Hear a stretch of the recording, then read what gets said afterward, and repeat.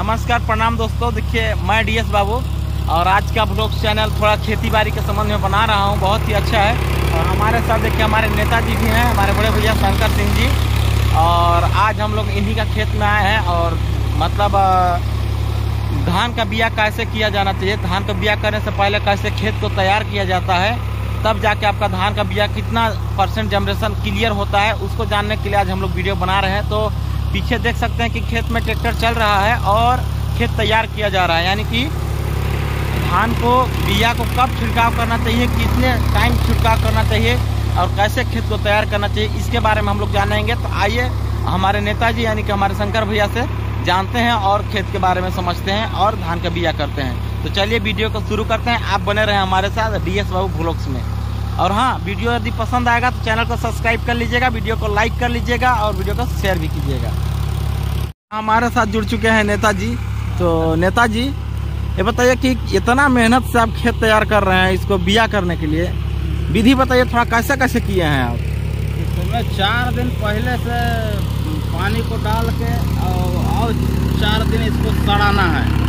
चार दिन पानी से डाल के सड़ाएँगे? हाँ इसको सड़ा के इसके बाद कतई एकदम महकने लगेगा। अच्छा। इसके बाद जो है फिर इसको जो है कदाएँगे। और कदा के इसके बाद जो है इसको जो है बिया इस पे फिर वो करेंगे। छीटेंगे। छीटेंगे। अच्छा से इसको फिर प्लेन करेंगे। अच्छा अच्छा। हाँ। और वैसे अगर बिया को छीट देते हैं तो बिया अच्छा से तैयार नहीं हो पाएगा। तैयार नहीं हो पाएगा घास भी ज़्यादा उगेगा ज़्यादा उगेगा उसमें ढेला वगैरह रह जाएगा। ढेला रह जाएगा। तो पूरा एकदम मतलब फिनिश होना चाहिए खेत एकदम लबलबाना हाँ, चाहिए। लबलबाना चाहिए। कदई एकदम ऊपर से एकदम दूर से महकना चाहिए कि कदई हुआ। है हाँ एक सप्ताह पहले पानी डालिए। हाँ।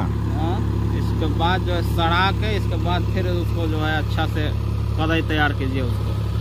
देखिए दोस्तों ऐसे न धान का खेती होता है और लोग सोचते हैं कि बहुत आसानी से हमारा बिया तैयार हो जाए। देखिए इसमें कितना मेहनत किए हैं नेताजी। मेन जो है बिया ही है।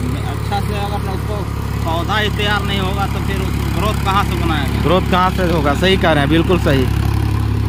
तो ये देख रहे हैं आप पीछे ट्रैक्टर भी चल रहा होगा और हम यहाँ नेताजी से बात भी कर रहे हैं। बहुत ही मतलब कहा जाए तो खेत को किस प्रकार से तैयार करना चाहिए बिहन करने से पहले उसको हम लोग बता रहे हैं और दिखा भी रहे हैं वीडियो में।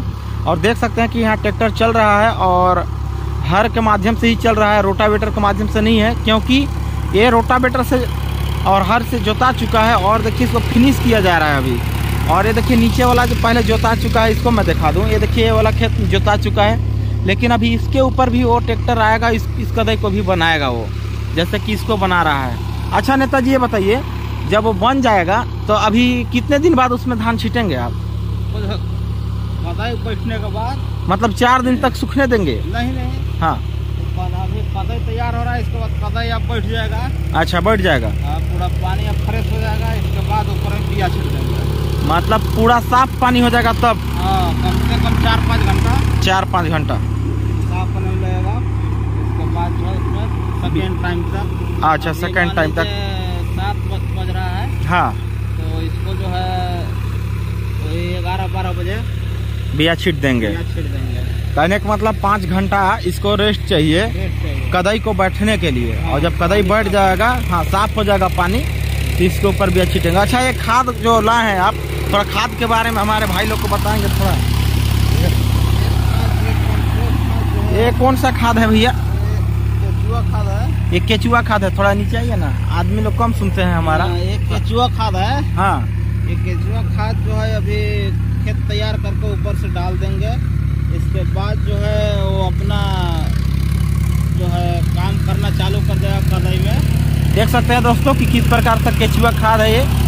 ये देखिए। इसमें जीवाणु है। जीवाणु है इसको छूने के बाद भी हाथ में महसूस होता है इसे खुद खुद बुदू खुद बुदू करते हैं यानी कि हाँ। इसमें जीव है। हाँ तो ये जो है को जो है पूरा वो कर देगा। एकदम बेहतरीन बना देगा। और जनरेशन बहुत अच्छा होगा। अच्छा होगा। तो एक केचुआ खाद का उपयोग कर रहे हैं इस कीचड़ में डालेंगे अभी। जब पानी बढ़ जाएगा, तब इसको डालने के बाद बिया छीटेंगे। तब छीटेंगे ताकि साथ में मतलब बिया भी अच्छा निकले और ये खाद का क्वालिटी भी अच्छा हो।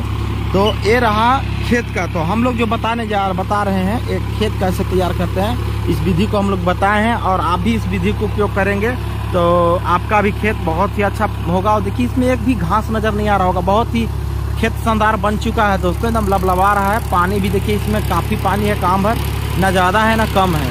और खेत एकदम लबलबा रहा है। बोले तो बहुत ही बेहतरीन तैयार हो चुका है, बहुत ही बेहतरीन देखने में भी लग रहा है खेत भी। और अब इसमें पाँच घंटा तक इसको छीटेंगे नहीं भैया, पाँच घंटा में इसका जो कीचड़ होगा नीचे बैठ जाएगा और पानी साफ़ हो जाएगा, तब इसमें बिया छीटेंगे, यानी कि धान का छिड़काव करेंगे। और उस टाइम इस खाद का उपयोग करेंगे। ये जो खाद दिखाई दे रहा है दोस्तों, इस खाद का उपयोग उस टाइम करेंगे। तो चलिए, अब इस खेत में भी थोड़ा देरी में इसी प्रकार के बनाया जाएगा। तो आज का ब्लॉग्स में इतना ही। अगले ब्लॉग से फिर से मिलेंगे। यदि वीडियो पसंद आया होगा दोस्तों तो लाइक कमेंट शेयर ज़रूर कीजिएगा। धन्यवाद।